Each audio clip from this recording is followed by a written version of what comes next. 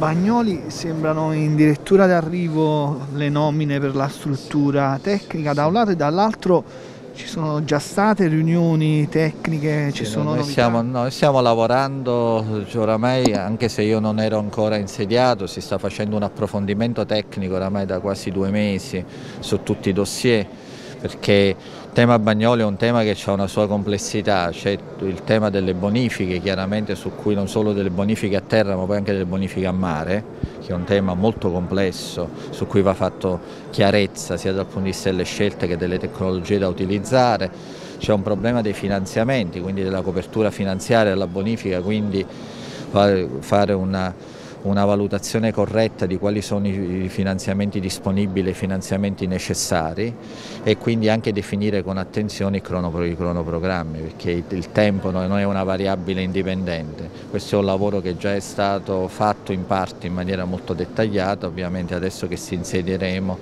anche con la struttura tecnica si potrà ulteriormente accelerare e faremmo insomma, venire a capo di una situazione che purtroppo si trascina oramai da decenni e che rappresenta una grande opportunità per la città.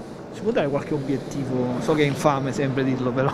No, io diciamo io mi do un obiettivo minimo, avere una certezza delle cose da fare e dei soldi che servono, perché anche questo che mi sembra un argomento base no, al momento non è chiaro. Sui finanziamenti, Sui non c'è chiarezza con Roma? Non c'è diciamo, una copertura di tutte le risorse la, della, che servono per la bonifica, quindi questo è l'elemento chiave. Ovviamente poi va fatto un ragionamento con Roma per capire come si deve garantire la copertura. Quanto manca secondo te? È abbastanza. La, la nomina è, è, diventata effettiva finalmente? È diventata effettiva, adesso non so esattamente i dettagli, ma credo tra la fine dell'anno e gli inizi dell'anno nuovo.